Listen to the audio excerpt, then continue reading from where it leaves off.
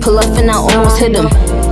He acting like I ain't always with him. My heart saying I love him while I'm screaming out I hate him. And ain't no more debating, this time it's an ultimatum. I never forgot where I was at the first day I met him. Yeah, it was love at first sight, but I ain't never sweat him. I knew if it was meant to be that one day I would let him. 20 years later, them decisions, I don't regret them. Just wish you would give me space when I'm really need it. To be alone in my zone when I'm really heated. Just cause I am quiet, don't mean you